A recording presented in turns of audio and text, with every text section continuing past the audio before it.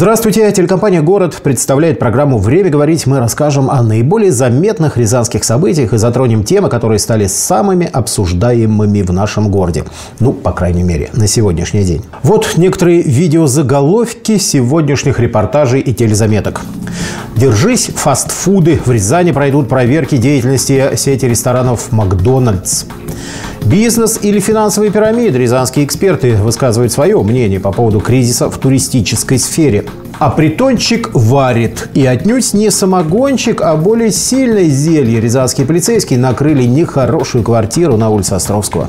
Но теперь ко всем обстоятельствам сегодняшних событий. Вчера пришло сообщение из города Курска о том, что местный Роспотребнадзор начал проверки ресторанов сети быстрого питания «Макдональдс» на предмет соблюдения санитарных норм. Таким образом, сражение за правильное питание россиян разворачивается все шире, причем главным оппонентом выбран штатовский король фастфуда.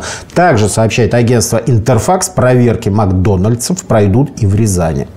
Ранее сообщал, что на прошлой неделе сотрудники региональных управлений Роспотребнадзора приступили к проверкам ресторанов сети быстрого питания «Макдональдс» в ряде городов Центрального федерального округа. Основателями упомянутой сети ресторанов стали братья Макдональдс. Первое заведение было открыто в 1940 году. Главной концептуальной особенностью сети стало быстрое обслуживание. Это подходило под деловой стремительный ритм жизни американцев, а потому кафешки недорогого фастфудовского питания сразу нашли своих клиентов. Братья Макдональдс заметно сократили рацион традиционных для штатов блюд общепита с 25 до всего лишь 9. Это были кофе, молочные коктейли и непосредственно молоко, картофель фри, чипсы, пирожки, гамбургеры, чизбургеры, а также прохладительные напитки. Позже в бизнесе братьев Макдональдс появился более чем предприимчивый человек по фамилии Крок, который приобрел у них право пользоваться технологией, а также именем сети закусочных. Тот поставил дело на широкую ногу, и паутина ресторанчиков быстрого питания стремительно окутала весь мир, в том числе и современную Россию. В связи со стремительной макдонализацией земного шара забили тревогу врачи. Подобная пища по определению очень вредна для организма. Она приводит к быстрому ожирению и сопутствующим неприятностям. Но сеть Макдональдс – это громадное налоговое отчисление. А потому медики, несмотря на все аргументы против фастфудовского питания, проигрывают этой мегафабрике по производству толстяков. Между тем, в Соединенных Штатах Америки ожирение стало второй после курения причиной смертности. Англичане, перенявшие от американцев страсть к фастфудам, стали умирать по причине ожирения в два раза чаще. И еще на первое место среди напитков, которые употребляют дети, выходит непременная в Макдональдсах шипучка кола. А это тоже ведет к ранним и тяжелым заболеваниям. Современные дети пьют колы в 30 раз больше, чем всего несколько лет назад. А в США при попустительстве разжиревших на фастфудовских меню родителей колу пьют даже двухлетки. Да и в принципе вся система фастфудов рассчитана преимущественно на детей и подростков, которые в силу отсутствия элементарных знаний и жизненного опыта поглощают весь макдональдсовский рацион, не заботясь о собственном здоровье. Вот что думают о фастфуде в целом и его главном мировом апологете сети Макдональдс рязанцы. Если люди едят очень много, то, что заказывают много колы и картошки, то это их проблема. А если съедят в рамках нормы, то проблем не будет. И вообще я считаю, что нападки на Макдональдс чисто политическая вещь. Не, Рестораны быстрого питания, как Макдональдс, Бургер Кинг, да. посещаете? Не, не посещаю. А как кажется вам, еда, вот, которую там готовят, она полезна для организма, вредна? Да я не знаю, фастфуд, что это, как не знаю, вредит, наверное, здоровью. Что поделаешь-то? Ну, они нужны в городе? Да я думаю, нет. Зачем они нужны? Чтобы люди травились. Вот. Но единственное, что у них сервис удобный, быстрый. Вот. Кто-нибудь бы придумал какие-нибудь щи по-быстрому. Там, чтобы ночью заехал, в машине щи купил, поел. Вот это да, вот это я понимаю. Рестораны быстрого питания, типа да. Макдональдс, Бургер Кинг, да. посещаете? Нет. А как вот считаете, вот пища, которая там вот готовится, она полезна, вредна? Нет, она не полезна. Да, ее лучше закрыть и открыть какую-то национальную кухню. Пускай наше правительство подумает, там, или жители города, или бизнесмены, чтобы открыть хоро- хорошую, вкусную еду, понимаете, там, у нас, ну, хоро- хорошая национальная кухня, или кухня Кавказа, а Макдональдс его кушать нельзя. Ну, мне кажется, не очень питание, больше домашнее. Ну, то есть лучше бы, если бы вот эти сети, ну, их, может быть, и не было, а были бы какие-то другие. Да. Ну, полезное, чтобы Да, было питание. Чтобы было полезное питание, чтобы больше открывалось, знаете, кафе с какими-то вегетарианскими блюдами. Больше так предпочитаю. Ну, понятно, что атака на Макдональдс разворачивается на фоне политической обстановки и обострения отношений с нашими, как говорят политики, западными партнерами. Но это не делает фастфудовскую еду полезной. Просто если раньше российским властям, по большому счету, было не ахти как важно, насколько вредна система американского быстрого питания, то теперь хотя бы появился повод предпринять реальные шаги по борьбе за здоровье нации. Только вот как долго это стремление просуществует в чиновничьем сознании? Все-таки здоровье – это одно, а налоговые сборы, а и же с ними некоторые, вполне возможно, личные шкурные интересы кого-то – совсем другое. Но вся эта тема с Макдональдсами пока значительно уступает по масштабам кризису, наступившему в российском туристическом бизнесе. Так, в конце минувшей недели приостановили деятельность брянский туроператор «Милана Тур» и туркомпания «Атлас». А с начала этого июля с финансовыми проблемами столкнулся целый ряд компаний. О неспособности исполнять взятые на себя обязательства перед клиентами заявили петербургский туроператор фирмы «Нева», компания «Роза ветров Мир», туроператоры «Экспо Тур», «Идеал Тур», «Лабиринт», группа компаний «Инт Аэро», туроператор «Нордик Стар», турагентство «Сургут Курорт», туроператор «Ветер странствий» и другие.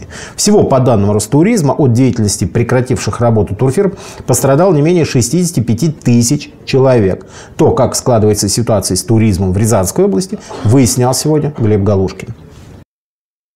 Всего за нынешний месяц в России приостановили свою деятельность 8 туристических компаний. Причем это были фирмы с немалым стажем работы в отрасли. Сейчас по их долгам расплачиваются страховщики, а в офисах проводят проверки сотрудники правоохранительных структур. Оставшиеся туроператоры спешно приводят свою деятельность в порядок. Впрочем, специалисты советуют самим отдыхающим досконально проверять, с кем и на каких условиях они заключают договор. Туристы должны знать, что когда они приходят заказывать путевку, пусть они вместе с турагентством посмотрят финансовое обеспечение и окончание договора туристической деятельности того или иного туроператора. Вот.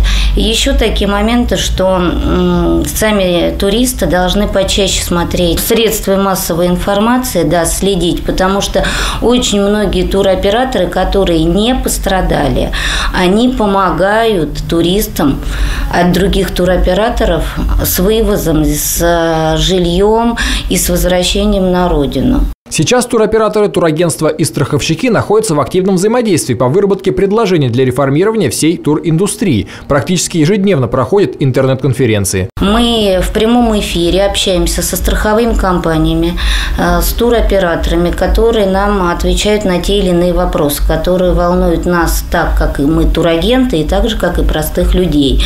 То есть отвечают все достойно, э, говорят, что все-таки реформы в туристическую отрасли будут, что с 2015 года, конечно, многие туроператоры закроются в связи с тем, что у них, э, ну, наверное, не будет хватать финансового обеспечения. Останутся только сильные. И я думаю, что сейчас туристам уже не надо бояться, а можно спокойно идти и отправляться в путешествие. В общем, изменения, безусловно, нужны, ведь счет пострадавших туристов от деятельности недобросовестных туроператоров идет на десятки тысяч человек. Среди возможных мер многие эксперты рынка называют усиление государственного контроля. Информация к сведению. Российские законодатели намерены ввести новые поправки, определяющие состояние туристической отрасли. Этим займутся несколько министерств и ведомств. Например, Минкультуры, в чем ведении находится туристическая отрасль, уже предложил ужесточить регулирование этого рынка. Глава ведомства Владимир Мединский считает целесообразным повысить порог вхождения операторов на рынок за счет увеличения финансовой нагрузки. К другим темам. Рязанские полицейские накрыли в столице области притон, где криминальные мастера трудились над изготовлением синтетических наркотиков. Здесь же всю эту дрянь и вкалывали в многострадальные организмы страждущих. С подробностями Оксана Себенихина. До рязанских полицейских дошли сведения о том, что в одном из домов на улице Островского собирается компания подозрительных молодых людей, Оперативники уголовного розыска проверили эту информацию и установили, что некий 32-летний рязанец месяц назад организовал у себя дома настоящий наркопритон. Мужчина и несколько его сообщников в кустарных условиях изготавливали сильнодействующий наркотик – дозоморфин. Как оказалось, хозяин наркопритона ранее уже привлекался к уголовной ответственности за преступление, связанное с незаконным оборотом наркотиков. Оперативники задержали подозреваемого. При досмотре его квартиры были обнаружены прекурсоры для изготовления дизоморфина. В отношении злоумышленника возбуждено уголовное дело. Проводится расследование. Время не стоит на месте, и по мере появления у людей определенных потребностей появляется и предложение. Это касается и наркотиков. Тот же дезоморфин в свое время пришел как альтернатива героину. Такая же ситуация складывается во всей преступной наркоиндустрии. Ежегодно в мире появляется около 40 новых видов синтетических наркотиков.